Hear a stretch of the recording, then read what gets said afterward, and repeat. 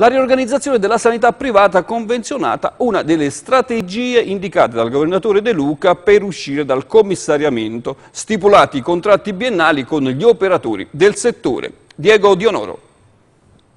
Verifica e revisione del fabbisogno alla base del criterio adottato dalla Regione per la regolamentazione dei rapporti con la sanità privata convenzionata. I nuovi contratti con valenza biennale 2018-2019 dovrebbero mettere ordine in una buona fetta del settore che copre circa il 30% della sanità campana case di cura, specialistica ambulatoriale, riabilitazione, le macro aree per le quali la Giunta regionale ha stanziato nel complesso 50 milioni in più rispetto allo scorso anno.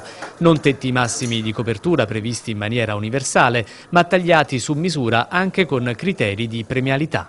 Daremo incentivi alle cliniche private in relazione agli obiettivi, chi riduce il numero di parti cesarei, chi riduce i tempi per le operazioni di fratture al femore, per rientrare nell'obiettivo generale di riduzione delle liste di attesa. Uno strumento anche per evitare futuri contenziosi. Chi firma oggi i contratti biennali si impegna a non aprire contenziosi con la Regione Campania. Veniamo da decenni nei quali intorno alla sanità campana è cresciuta un'intera economia speculativa. Studi legali, ricorsi, controricorsi, cessione di crediti a società speculative che aggredivano la Regione.